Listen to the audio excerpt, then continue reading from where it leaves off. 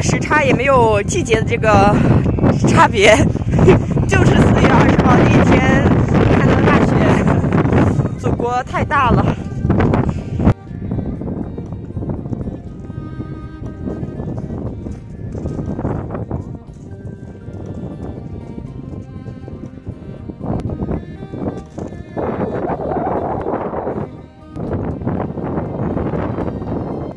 大雪过后天还是漂亮的，他们在吃晚饭。羊群中我看到了一个格格不入的身影，你该干啥？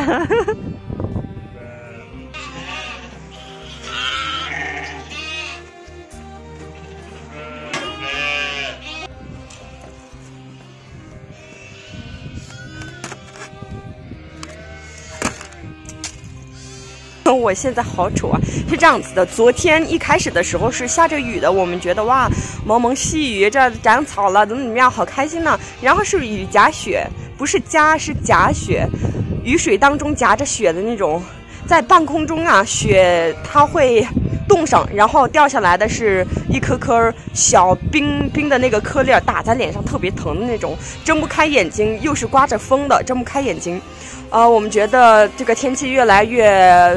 不太乐观了，所以我这个爸爸、爸爸和弟弟连夜赶去山上，把这个呃小马驹还有他们的妈妈赶回来了，把全部的马群给赶回来的。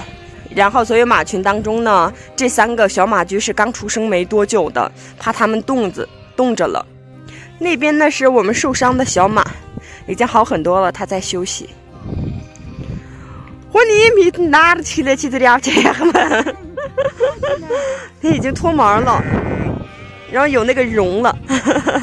我们家这个是大宝宝，呃，已经十多岁了，十几岁的一个老山羊，是妈妈的妈妈当年的奶羔子，所以对人很亲切，很也不怕人，特别老实。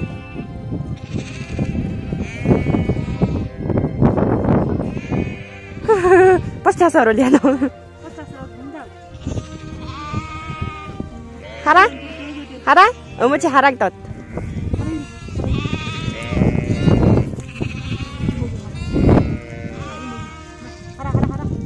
Hehehe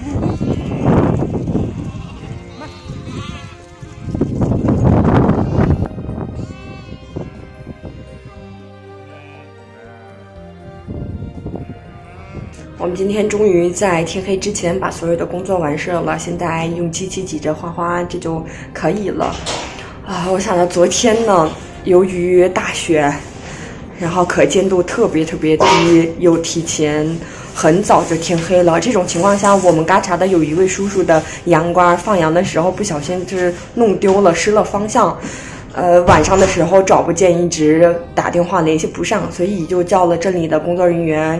然后那位叔叔呢，又啊带着其他的几位周围的邻居、亲戚朋友，然后一车人出去啊去找这个羊倌的时候误车了。那会儿又是特别特别黑的时候，爸爸呃给给爸爸来电话，但是我们真的帮不上。如果我们出去的话，我们也找不见方向。那也是差不多是白毛疯了吧，已经。所以，那位叔叔说，啊，在那儿过夜了，在野外，就山上误车，没有办法出不来，过夜了。然后等到白天的时候，他才能出来。所以说，这个天气特别，呃，特别厉害，特别严重吧。劝大家也，啊，我们周围的人还不要出门，其他其他人也可以来这儿。避暑，看看我们四月份的大雪，欢迎大家来。